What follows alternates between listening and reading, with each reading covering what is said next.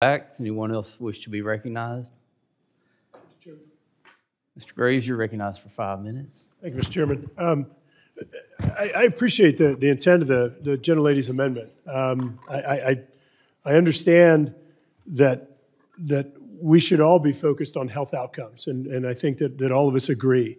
Uh, the, the, the problem is that I think the, the premise, and in fact, the, the black letter of the amendment actually is, is inaccurate, um, in that it, it, it suggests that um, that, that oil and gas production disproportionately affects a, a certain demographic of the population. Uh, there's actually an NAACP study. Uh, in fact, we had this debate in this committee uh, last Congress, NAACP study that indicated actually that, that there were a lower uh, percentage of, of communities of color located in proximity to energy production. I know that uh, my home state of Louisiana, we have about one third uh, black population in our state. And when we went through and we looked at where the production was compared to the population, it wasn't even close in regard. And, and so, saying that another way, there were many, uh, I guess, white and, and what I refer to as Cajun folks proximate to, uh, to where energy production was. S secondly, I, I, think that what we should be doing is looking um, uh, really globally. And, and as a matter of fact, if you look over the last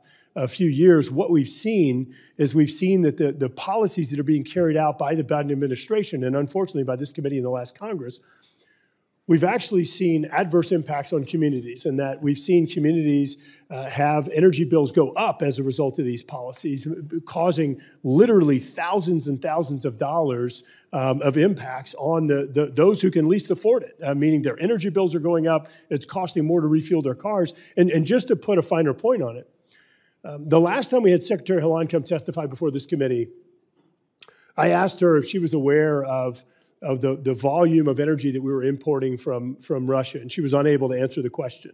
And, and during the Biden administration in the first year, and, and I'm, I'm going to be wrong because I'm doing this from memory, but we had like a tripling or something, and again, give me wiggle room on that, of, of, of, of dependence upon Russian energy.